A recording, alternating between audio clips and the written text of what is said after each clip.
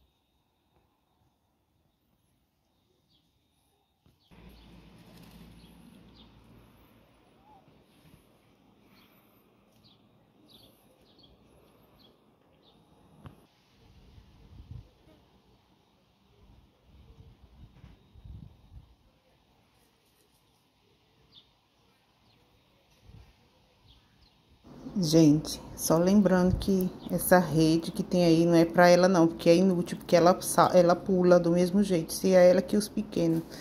É para as galinhas não passarem de lá, para não irem, né, nas, na horta, que aí onde ela tá, é um, tem uma horta, tem mais, tinha batata que meu marido tava arrancando hoje de manhã, e tinha feijão, é só para as galinhas, mas se ela, ela não pulou porque ela não quis, mas ela pula tranquilamente essa rede aí, ela e os pequenininhos também pulam.